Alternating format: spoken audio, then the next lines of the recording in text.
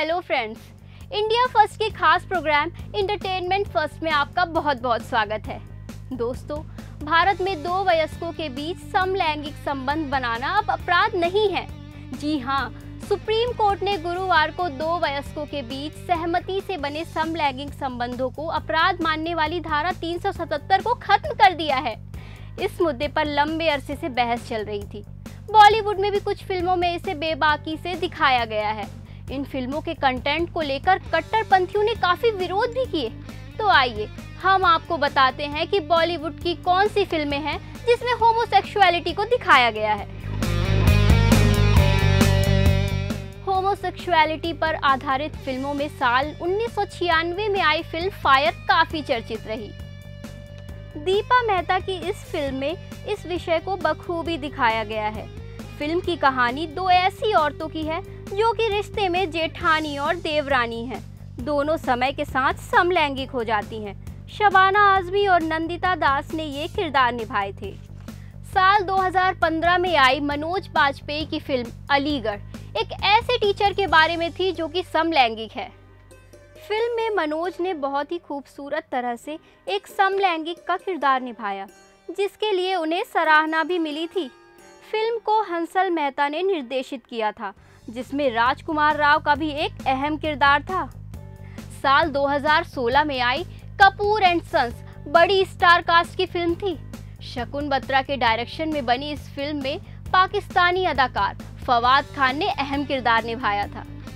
Film में फवाद समलैंगिक के किरदार में होते हैं, लेकिन समाज के डर से वो इसे छिपाते हैं। जब इस बारे में घर वालों को पता चलता है तो वो उसे पाप समझ बैठते हैं। इस पूरी कश्मकश से जूझते हुए एक शख्स की कहानी को फ़िल्म में दिखाया गया है। साल 2005 में आई फ़िल्म माय ब्रदर निखिल एक ऐसे शख्स की कहानी है जो एक स्विमिंग चैंपियन होने के साथ साथ समलैंगिक भी है। हालाँकि निखिल इस फ़िल्म में एचआईवी का शिकार हो जाता है। इस वजह से उसे स्विमिंग टीम से बाहर कर दिया जाता है। इस फ़िल्म में संजय सूरी ने लीड रोल निभाया है। जिसमें जूही चावला ने उनकी बहन का रोल निभाया था। साल 2004 में आई फ़िल्म गर्लफ्रेंड पर बहुत हंगामा हुआ था। जैसा कि फ़िल्म के नाम से पता चल रहा है कि फ़िल्म में लेस्बियन रिश्ते को दिखाया गया था। फ़िल्म में ईशा कॉपिकर और अमृता अरोरा ने लीड रोल किया था।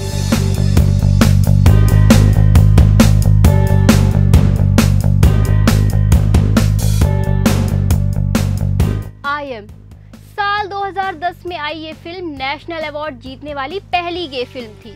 फ़िल्म में चार अलग अलग कहानियाँ दिखाई गई थी, जिसमें से एक कहानी समलैंगिकता पर आधारित थी। इस कहानी में राहुल बोस और अर्जुन माथुर ने मुख्य किरदार निभाया है। वैसे इन फ़िल्मों के अलावा कई मसाला फ़िल्मों में भी समलैंगिक चरित्र दिखाए गए हैं। हालाँकि इन्हें किसी विमर्श की बजाय कहानी में कॉमेडी के लिए इस्तेमाल किया गया है। तो दोस्तों होमोसेक्सुअलिटी पर बेस्ड कुछ बॉलीवुड की फ़िल्मों के बारे में ये इन्फॉर्मेशन आपको कैसी लगी? इंटरटेनमेंट इंडस्ट्री से जुड़े और किन सब्जेक्ट्स के बारे में आप जानना चाहते हैं, ये भी आप हमें बताएँ।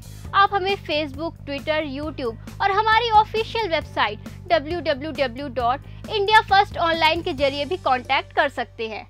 तो इंडिया फ़र्स्ट न्यूज़ को सब्सक्राइब करना ना भूलें।